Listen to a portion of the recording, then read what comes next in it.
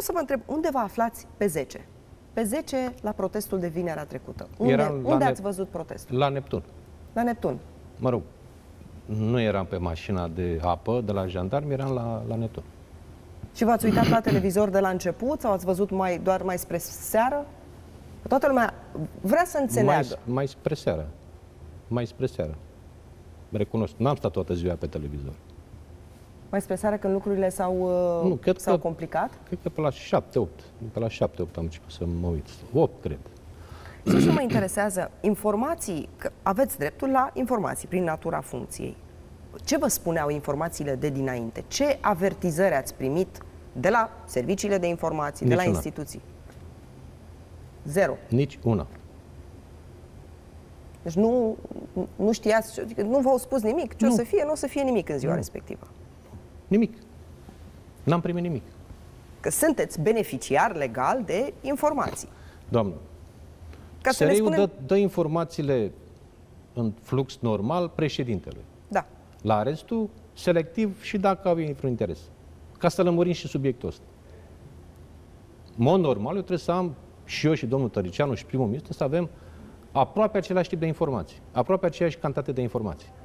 Ca grad de... Uh, Nu e ca vorba de nivel, grad, nu e vorba dar de ca grad. nivel, și la nivel, dar și pe natura funcțiilor. Președinte Cameră, președinte Senat, prim-ministru. În mod normal, de asta vă întrebam. vorbim de guvern, președinte, parlament. Exact. Adică totuși Sunteți instituții- beneficiar legal de informații despre starea țării. Teoretic. Da. primesc foarte puține informații. Foarte puține informații. A- Apropo, niciuna de la SIE. Nici una. Acum, domnul Vlase poate nu s-a instalat. Domnul general... Probabil că îi trebuie vreo 2-3 ani domnului Vlas să se instaleze. Dar n-am nevoie. N-am nevoie nici să mă sune, nici măcar nu m-a sunat, nici mi-a dat un mesaj, n-am nevoie pentru că nu l-am, nu l-am votat să meargă acolo ca să-mi dea mie telefoane. Chiar nici nu vreau. Nu v-a sunat după Nu, s-a să-și instalat. facă treaba acolo, sper să-și o facă. Aveți Să-și o dubii? facă în interesul României. Aveți dubii în Doamne, privința n-am lui nici Vlase? dubii, nici speranțe. Să vedem ce se întâmplă.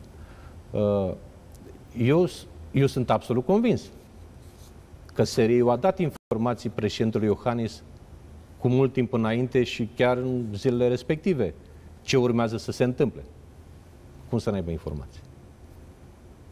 Eu nu știu, nu știu ce a spus doamna ministru în uh, Carmen Danas la comisie, la Comisia de Apărare, dar uh, cred că uh, domnul Manda și comisia dumnealui ar trebui să verifice dacă SRI a dat, când a dat informații Ministerului de Interne, a dat din proprie inițiativă sau după ce a cerut ministrul în mod explicit cu o zi înainte, că a văzut că nu vine nimic. Asta ar trebui lămurite. Că am tot văzut niște comunicate. Da. A fost un comunicat oficial, am dat informații plus Acum că... eu am o întrebare. Vă rog. sau câteva întrebări. Dacă, să zicem, aceste proteste erau organizate împotriva lui Iohannis, să zicem, același, aceeași organizare, pe net, a fost o organizare mili- militară, practic, sau, mă rog, paramilitară, paramilitară. Și eu și dumneavoastră știam că o să fie violență pentru că apăreau în presă informații. Uh, Ce făceau? Nu-l informau pe președintele Iohannis? A doua întrebare. Dacă era protestul împotriva lui Iohannis, la Cotroceni, și un grup bine organizat, bine organizat și incitat și încurajat de majoritatea celor care erau în piață, care nu s-au delimitat, vreau să spargă con- cordonul de jandarmi, băteau jandarmii, le dădeau cu pietre în cap, cu uh, sticle de apă. Ce ar fi făcut Iohannis? Tot așa ieșea să certe jandarmii și să zică nu lăsați să intre peste mine, pentru că nu era de el ca persoană. E vorba de niște simboluri.